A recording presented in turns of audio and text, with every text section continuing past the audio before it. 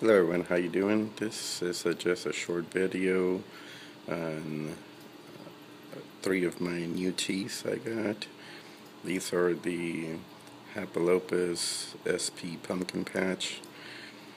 Really cool teas if you look them up. Um, you can see the name in the description and title.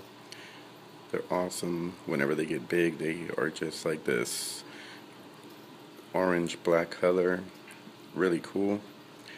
And um, just wanted to show y'all, I have them in these little vials here. Since they're really, really small, you can see them there. And um, basically, um, care for these guys, um, same as any other small tea. Make sure you keep good amount of moisture in there um, so they can mold properly and um, have a good amount of humidity in there and um, just wanted to show y'all I don't know if you can see the center one here but actually the center and the right one and even this guy here um, they're eating.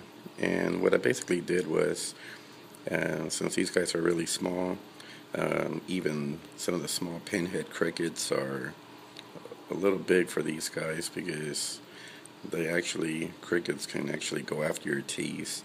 So what I do with these little guys is I just cut off a cricket leg from a large cricket that I'm about to feed another tea and basically just throw it in there.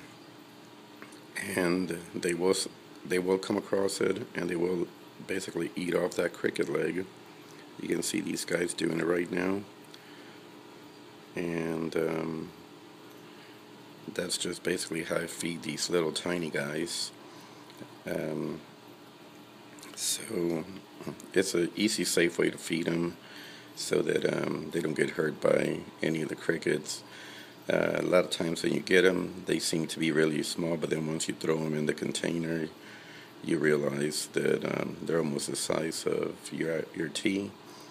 So just rip off a cricket leg and throw it in there and these guys will make their way to it and start eating.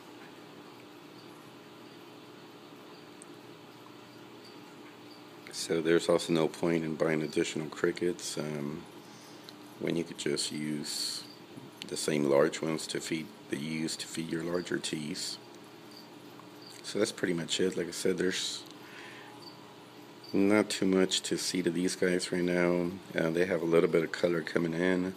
Really excited about these. I want to see the way they look as they molt and grow.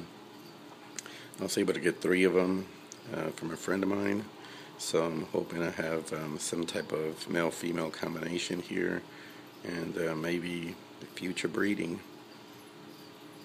So that's pretty much it. As time goes by, I will do updates on these little guys. Um, but